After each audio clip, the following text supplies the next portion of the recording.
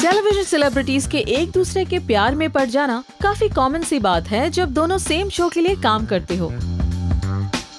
और इसीलिए प्रोड्यूसर गुरुदेव भल्ला ने अपनी अपकमिंग शो रिश्तों का सौदागर बाजीगर के लीड्स वत्सल सेठ और इशिता दत्ता को, जो नो डेटिंग क्लॉज साइन करवाया है, उसने टेलीविज़न की दुनिया को जरा सा तो ज़रूर हिला के रख दिया है।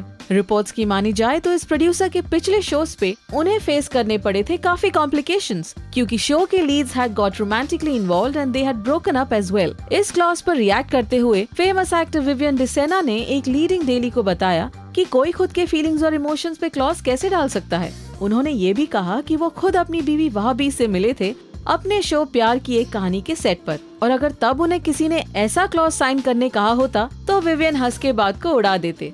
नज बलिए विनर आमिर अली ने भी उसी डेली से इस टॉपिक पे बात करते हुए कहा कि वो खुद अपनी बीवी संजीदा शेख से मिले थे दो अलग अलग शोज़ करते हुए, जो थी एक ही प्रोडक्शन हाउस के अंदर। उन्होंने ये भी कहा कि जब वो संजीदा से मिलने उनके सेट पर जाया करते थे, जो कि होती थी सेम कंपाउंड में, तब उन्हें कभी अरेस्ट होने का डर नहीं था।